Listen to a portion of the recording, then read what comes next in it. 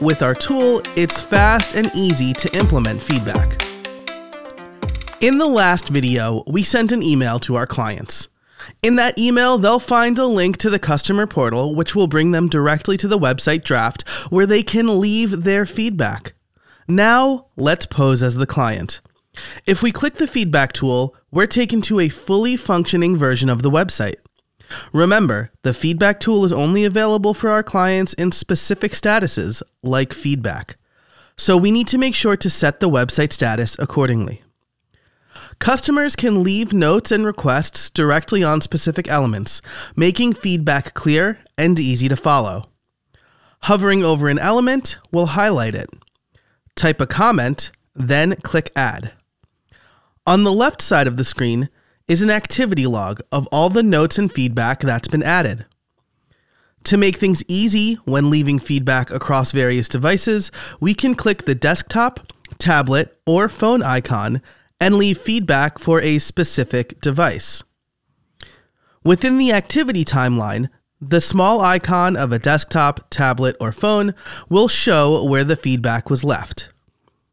Now, once the client has finished adding feedback, the next step is to quickly and seamlessly make all requested revisions. Usually, revisions are challenging because client comments are unclear and require a lot of back and forth. But with our tool, it's fast and easy to implement feedback. Let's head back to the manager to see how to make the requested edits. When a customer leaves a comment, we'll be notified with a ticket. If we click on it, we'll see all comments as to dos in the detail view.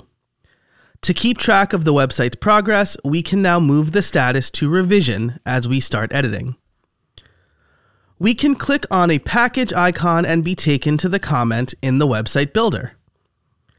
Back in the website builder, the element is highlighted, and we can implement the feedback accordingly. Once we've made changes, we'll mark the to-do as completed. We can go through the to-dos one by one, making sure we integrate all feedback. For clients that prefer to make their own changes, such as adding new images or text, we can give them the option to update the website themselves. Here's how. Right click an element to bring up a submenu. Find Editable for Customer near the bottom. This gives us three options. Edit only this element, edit all elements of the same type, or edit all elements on this page. In this instance, we'll choose all elements of the same type and save the website. Let's see how this looks from the client's perspective. From the customer portal, find the Edit Website button and click Edit Website. Like the feedback tool, the Edit Website option is only available when the site is in certain statuses like feedback. The client will have a restricted version of the website editor, according to the edit permissions we provided them with earlier. The client can update and delete any of these elements. Once we update based on the customer's feedback and get their approval, we're ready to publish. Change the website status to publish. Get your hands on SiteJet today.